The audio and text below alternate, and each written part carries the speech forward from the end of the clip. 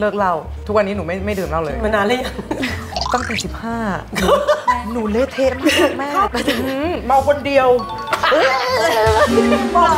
เหลวได้เท่หร่มาจากไหนอะกินเหล้าเออหนูว่าน่าจะมปลายค่ะตั้งแต่ตอนย้ายมาอยู่กรุงเทพคนเดียวเออก็เมื่อก่อนเราเป็นเด็กใต้เราก็ไม่ค่อยเที่ยวแม่เราก็ดุมากอะไรอย่างเงี้ยค่ะเออพอเรามากรุงเทพ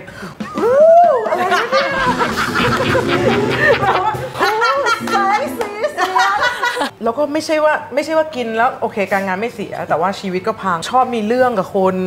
หนูอะแบบพอพอเมาระดับหนึ่งแบบว่าก้าวร้าวอย่างเงี้ยหนูก็เลยรู้สึกว่าพอแล้วนะพอเหอะอย่างเงี้ยมันสิบกว่าปีแล้ว แล้วก็แบบตอนนี้หนูคลีนหนูคลีนจากทุกอย่างเลยนะ11 เดือนเออ11เดือนเก่งมากค่ะ วันแรกๆหนูหนูจะตายเลย